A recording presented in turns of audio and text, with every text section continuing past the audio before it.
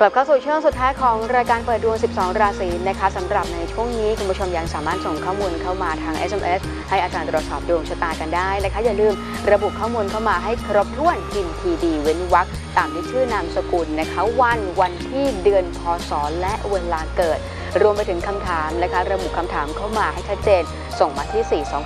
4221606 นั่นเอง มากันที่ SMS กันต่อเลยนะคะ คุณกรกฎ 9 สิงหาคม 2513 วันอาทิตย์ ไม่ได้บอกเวลาเกิดมา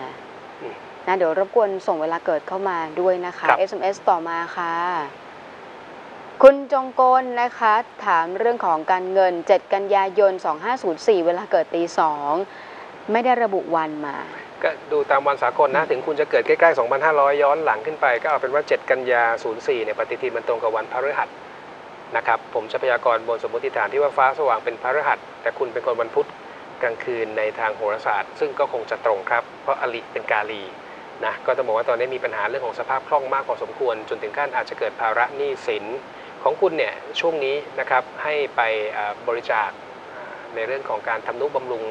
ห้องน้ำนะจะเป็นที่วัดวาอาราม หรือในที่สาธารณะก็ได้ครับ SMS ต่อมาค่ะ SMS ต่อมานะคะ คุณ คุณตรัง 5 มิถุนายน 2516 เวลาเกิด9นาฬิกา45 นาที ไม่ได้บอกวัน อาชีพขายน้ำค่ะ ก็เป็นคนวันอังคารน่ะนะ ก็เอ่อจริง ๆ แล้วก็ต้องบอกว่าในเรื่องของการขายเอ่อเครื่องดื่มไม่ไม่ค่อยเด่นเว้นแต่ว่าจะมีการจร มีการเดินทางและทำต่างถิ่นฐาน อันเนี้ยพอจะอนุโลมสมรูปครับ SMS ต่อมาค่ะ SMS ต่อมา คุณบุญเกียรตินะคะ 15 พฤศจิกายน 2512 นะคะ เวลาเกิด 10นาฬิกา35 นาทีวันเสาร์ ดวงชะตาไม่ค่อยดีเท่าไหร่ เรื่องงานนะต้องทำอย่างไร ทำบุญอะไรถึงจะดีขึ้น ปีนี้เบื้องต้นนะ คุณอาจจะอึดอัดกับในเรื่องของอภาระที่ได้รับมอบหมาย แต่ก็ต้องทำนะครับ อันที่สองฝากให้ระวังปัญหาเอกสารสำคัญผิดพลาด สูญหาย หรือแม้กระทั่งคำพูด ปีนี้พูดให้น้อยๆนะของคุณบุญเกียรติ แล้วก็ถ้าเจอเจอผู้พิการในเรื่องของการสื่อสารหูหนวกเป็นใบ้นะก็ขอให้บริจาคแบ่งปัน หรือจะทำบุญในเรื่องของทุนการศึกษา มากน้อยตามกำลังศรัทธาก็ได้เช่นเดียวกันครับ SMS ต่อมาค่ะ SMS ต่อมาคุณสุรเชษฐ์นะคะ 19 มิถุนายน 2523 ค่ะ เวลาเกิดนะคะบ่ายโมง 33 นาทีวันพฤหัสบดี การงานอนาคตคู่ครอง ตอนนี้ย่าง 35อะ ยังไงก็จะมีเรื่องของหัวใจมาเกี่ยวข้องนะครับถ้ามีคู่ครองคนรักอยู่แล้วเนี่ยหนักนิดเบาหน่อยให้อภัยกันนะครับ ก็ยังคบหากันได้ ส่วนในเรื่องของงานที่เด่นในพื้นชะตา พุทธสวยสุดนะครับพวกลักษณะพวกงานด้านการขายการเป็นตัวกลางในหน้านะครับถ้าทำธุรกิจพวกอุปกรณ์สื่อสาร อุปกรณ์การศึกษาอ่าพวกศูนย์ถ่ายเอกสารเข้าเล่มทำรายงานนะครับธุรกิจนักสืบทำป้ายบล็อกตายาง นะหรือแม้กระทั่งพวกงานเซลล์งานขายทั้งหลาย SMS ต่อมาค่ะ คุณชัยนะคะเกิดวันที่ 4 สิงหาคมค่ะ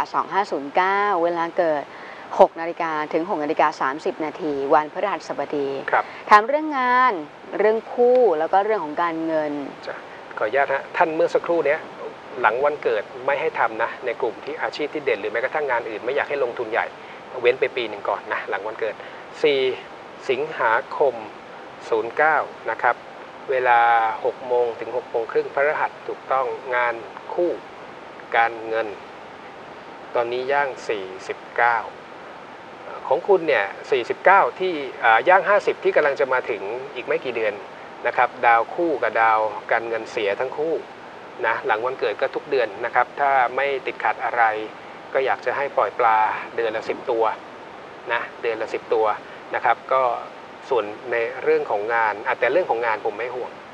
ผมไม่ห่วงจะห่วงเรื่องของครอบครัว จะห่วงเรื่องของสภาพคล่อง แล้วมันมีโอกาสจะเชื่อมโยงถึงกันด้วยนะครับ SMS ต่อมาค่ะ คุณรณจักรนะคะ เกิดวันที่ 1 ธันวาคม 2513 เวลาเกิดหนึ่งทุ่มวันอังคาร อาชีพค่ะ เป็นทหาร 1 ธันวา 13 เกิดหนึ่งทุ่ม ก็ถ้าถ้าให้เป็นคะแนนนะเต็มร้อยเปอร์เซ็นต์เนี่ยน้ำหนักประมาณ 75 ถึง 80%นต์นะครับเพียงแต่ว่าถ้าถ้าคุณรณจักรมีการเปลี่ยนแปลงหน้าที่ความรับผิดชอบบ่อยๆ อันนี้จะยิ่งสมรูปนะและจะทำให้เรามีความเจริญเติบโตมากขึ้น อันนี้ถือว่าใช้ได้ครับในพื้นชะตา SMS ต่อมาค่ะ คุณปณิตานะคะเกิดวันที่ 14 ธันวาคม 2527 เวลาเกิด4ทุ่มครึ่ง ขายเสื้อผ้าดีหรือเปล่านะ ตอนนี้ทำงานเสิร์ฟอยู่ค่ะ วันอังคารนะ คือถ้าจะทำในเรื่องของธุรกิจเรื่องของความสวยความงามคุณต้องขวนขวายให้มาก ไม่ใช่แค่ขยันและตั้งใจทำงานเท่านั้น อาจจะต้องออกแรงมากกว่าคนที่ทำธุรกิจประเภทเดียวกันอ่าหาต้นทุนติดตามเทรนด์แฟชั่นนะครับอ่าในเรื่องของช่องทางการจัดจำหน่าย จึงจะประสบความสำเร็จ แต่ยืนยันฮะว่ามันดีกว่าในเรื่องของลักษณะงานบริการหรือว่างานเสิร์ฟที่ทำอยู่ SMS ต่อมาค่ะ คุณวารีวันนะคะ เกิดวันที่ 18 ธันวาคม 2533 เวลาเกิด 17นาฬิกา30 นาทีวันอังคาร ถามความรักแล้วก็โชคลาภค่ะ เกณฑ์ความรักจะโดดเด่นมากๆนะครับ ก็คือในช่วงอายุย่าง 26 ที่กำลังจะมาถึงนะไม่ต้องรีบนะครับอ่าและช่วงอายุก็ยังไม่มากด้วย ส่วนโชคลาภไม่เด่น SMS ต่อมาค่ะ คุณประภาพรนะคะ 6 กุมภาพันธ์ 2518 เวลาเกิดช่วงบ่ายๆค่ะ วันพฤหัสบดีถามการเงินแล้วก็เรื่องของหนี้สินอืมดาวการเงินเสียจริง ๆ นะครับอาของคุณช่วงนี้นะครับถ้ามีโอกาสทำบุญในเรื่องของพวกกระเบื้องมุงหลังคาโบสถ์นะก็ขอให้ทำนะมากน้อยตามกำลังนะครับ ก็สภาพคล่องปีนี้ผมใช้คำนี้ฮะเงินผ่านมือนะ รับซ้ายจ่ายขวาตลอด SMS ต่อมาค่ะ SMS ต่อมาคุณวีระเกิดวันที่ 16 พฤศจิกายน 2522 นะคะ เวลาเกิดเที่ยงคืนครึ่ง ระบุว่าเป็นวันศุกร์ถามงานกับความรักค่ะ ก็ยังเป็นคนวันพระฤหัสบดีในทางโหราศาสตร์อยู่นะจ๊ะวันนี้เบรกแรกความรักดีแต่เบรกหลังๆ เกณฑ์ความรักปัตตานิเป็นกาลีครับ โสดอยู่คนเดียว ถ้ามีคู่อย่าไปยุ่งเรื่องส่วนตัวนะ แล้วก็ประคับประคองความสัมพันธ์ให้ดีๆ ของคุณเนี่ยให้ซื้อชุดเครื่องเขียนอุปกรณ์การเรียนถวายพระสงฆ์สำหรับศึกษาพระธรรมวินัย ส่วนงานแม้จะมีการเปลี่ยนแปลงเดินทางโยกย้าย แต่โดยรวมได้รับการสนับสนุนอุปถัมภ์มากกว่าช่วงปีที่ผ่านมา SMS ต่อมาค่ะ คุณอาชิรยานะคะเกิดวันที่ 5 กันยายน 2522 เวลาเกิด8นาฬิกา20 นาทีเป็นพุธกลางวันถามเรื่องงานนะทำงานด้านไหนดี ถามเรื่องการเงินด้วย พุธกลางวันถูกต้องนะดาวพุธก็สวยนะครับ มาเดี๋ยวนะพุธกับศุกร์ศุกร์สวยกว่านะจ๊ะก็ทำเกี่ยวข้องกับในเรื่องของกินสิ่งสวยงามทำได้นะแม้กระทั่งเครื่องดองของเมาอย่างถูกต้องตามกฎหมายก็ถือว่าเด่นส่วนเกษตรค้าของเก่ามินิมาร์ทก็ได้ งานเซลล์งานขาย งานเป็นตัวกลางของคุณมีหน้างานหลากหลายนะครับลองสำรวจตัวเองดูว่าเหมาะกับอะไร แต่เกณฑ์การลงทุนย่าง 36 และ 37 นี้ยังไม่เชียร์นะครับ SMS ต่อมาค่ะ คุณอ่าน้องอ้อมนะเกิดวันที่ 11 มีนาคม 2537 เวลาเกิดค่ะ4ตี4 59 นาทีวันศุกร์ครับถามงานกับเงินค่ะ งานออกแรงเยอะหน่อยนะครับย่าง 22 23 เนี่ยมีโอกาสจะได้รับการยอมรับมากขึ้น ไม่ว่าจากพักพวกเพื่อนร่วมงานผู้หลักผู้ใหญ่ มีโอกาสที่จะเจริญเติบโตนะในสิ่งที่ทำสภาพคล่องก็จะปรับตัวดีขึ้นในช่วงย่าง 23 ครับอ่า มาในส่วนของอีเมลกันบ้างนะ คุณนัทพุทธิพัฒน์เกิด 17 ตุลาคม 2512 ตี5ถึง6โมงเช้า วันศุกร์ถามงานกับถามเงินค่ะ จริงๆเนี่ยเกิดรอยต่อระหว่างการเปลี่ยนวันนะตีห้าถึงตีห้าครึ่งเนี่ยคุณมีโอกาสจะเป็นได้ทั้งคนวันพฤหัส แล้วก็คนอ่าแล้วก็วันศุกร์บอกจังหวัดมาหรือเปไม่ล่าครับไม่ได้บอกค่ะ ไม่ได้บอกจังหวัดเลย สักครู่ครับ ถามเรื่องงานกับเรื่องเงิน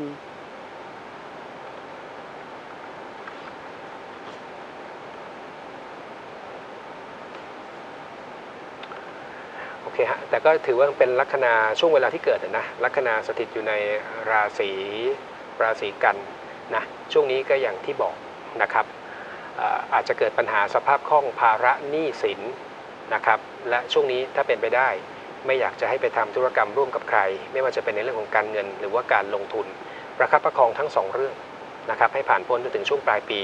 จึงจะเปลี่ยนแปลงในทางที่ดีขึ้น ช่วงนี้นะถ้ามีโอกาสแบ่งปันในในเรื่องของอการให้ชีวิตสัตว์เดือนละ 12 ตัว อยากให้ทำทำให้ต่อเนื่องถึงสิ้นปีครับ ลละนะคะ แล้วก็เลขบ้าน 82 ค่ะ ราหูจันทร์เป็นคู่หนี้สินนะระวังการถูกแย่งรัก ชีวิตมันเดินไม่สะดุดใช้ทองคำเปลวแท้บริกรรมคาถาชินแม่บัญชรและปิดไปที่เลขส่วนรถ 4155 8ดีทั้งคู่หน้าคู่หลังอะเป็นเลขแห่งความสำเร็จมีหลักฐานความมั่นคงครับ มาในส่วนของเรื่องงามยามดีวันมงคลกันบ้างค่ะ ก็ช่วงปลายเดือนนะครับ ว่ากันตั้งแต่วันที่ 27 วันพุธนะครับ สามารถประกอบการมงคลได้กันละโยกเป็นวันธงชัย ฤกษ์ล่างก็มีดิถีที่ดีทั้งวันสิทธิโชค ชัยโชค แล้วก็ดิถีเรียงหมอน วันนี้ประกอบการมงคลได้นะครับ แต่ควรจะหลีกเลี่ยงการออกรถ ช่วงเวลาที่ดีที่สุด 16นาฬิกา1นาทีถึง 16นาฬิกา30นาทีแต่คนที่เกิดวันเสาร์ควรจะหลีกเลี่ยงการใช้ฤกษ์วันนี้ ต่อด้วยศุกร์ที่ 29 อัคนิโรธตกในอิสตรี หลีกเลี่ยงการข้องแวะกับอิสตรีสำหรับคนที่คิดจะประกอบการมงคล และวันนี้เป็นอีกหนึ่งวันนะครับที่ไม่ควรจะออกรถที่เหลือดำเนินการได้ ช่วงเวลาที่ดีที่สุด 8นาฬิกา1นาทีถึง8นาฬิกา30 นาที แต่คนที่เกิดวันอาทิตย์ ควรจะหลีกเลี่ยงการใช้เลิกวันนี้ ต่อด้วยเสาร์ที่ 30 พฤษภาคมครับ วันนี้ประกอบการมงคลได้ทุกประเภท ไม่ได้มีเงื่อนไขหรือข้อห้ามแต่อย่างใด เพราะมีเลิกล่างที่ดีทั้งวันฟู แล้วก็ดีทีเรียงหมอน ช่วงเวลาที่ดีที่สุด 13นาฬิกา1นาทีถึง 13นาฬิกา30 นาที แต่คนที่เกิดวันพระฤหัสบดี ควรจะหลีกเลี่ยงการใช้เลิกวันนี้ ต่อด้วยอาทิตย์ที่ 31 พฤษภาคมครับ วันนี้เป็นวันมหาสิทธิโชค แต่อัคนิโรธตกในเขตพัทธเสมา ก็ควรจะหลีกเลี่ยงในเรื่องของการอุปสมบทบรรพชา รวมถึงประกอบการมงคลในพระอุโบสถที่เหลือดำเนินการได้นะครับ ช่วงเวลาที่ดีที่สุด 16 นาฬิกา 1 นาทีถึง 16 นาฬิกา 30 นาทีแต่คนที่เกิดวันจันทร์ ควรจะหลีกเลี่ยงการใช้เลิกวันนี้เอาล่ะนะคะก็เป็นในส่วนของเรื่องงามยามดีนะคะ วันมงคลที่คุณผู้ชมก็สามารถเลือกวัน ในการทำการมงคลได้ของเดือนพฤษภาคมแบบนี้นะคะ ส่วนใครที่อยากติดตามชมรายการย้อนหลังเนี่ยบางท่านอาจจะพลาดไปนะคะก็ติดตามกันได้ เข้าไปที่ YouTube ค่ะ แล้วพิมพ์ Miracle Channel เว้นวรรคทีวีไทยแลนด์นะคะหรือว่านะคุณผู้ชมที่อยากติดตามความเคลื่อนไหวของ Miracle Channel นะคะกิจกรรมต่างๆ ก็เข้าไปกดถูกใจเข้าไปคลิกไลค์กันได้ที่ Facebook Fanpage Miracle Channel TV นั่นเองนะคะส่วนใครจะส่งข้อมูลเข้ามาทาง SMS หรือว่าโทรเข้ามาลงทะเบียนนะรวมไปถึงทางจดหมายอีเมล address แล้วก็เว็บบอร์ดนะคะก็สามารถส่งดวงชะตา ส่งคำถามเข้ามาให้อาจารย์ตรวจสอบกันได้ แต่ว่าสิ่งสำคัญ อย่าลืมระบุข้อมูลวันเดือนปีเกิดนะรวมไปถึงอ่าในส่วนของเบอร์ติดต่อกลับด้วยนะคะก็ครัจะบได้มีการตรวจสอบข้อมูลกัน หรือว่าตรวจสอบดวงชะตากันก็จะมีการบอกกล่าวคุณผู้ชมกันนั่นเองนะคะส่วนคุณผู้ชมก็ติดตามชมรายการกันได้นะคะทุกวันจันทร์ถึงวันศุกร์ค่ะ8นาฬิกา30 นาทีถึง 10นาฬิกาตรง และวันนี้ก่อนจากกันไปฝากไว้สำหรับข้อคิดกติธรรม คนที่มองโลกในแง่ดีค่ะ ย่อมเห็นโอกาสในทุกยามที่เกิดวิกฤต แต่คนที่มองโลกในแง่ร้ายย่อมเห็นแต่วิกฤตในทุกโอกาสเราสองคนลาไปก่อน สวัสดีค่ะ สวัสดีครับ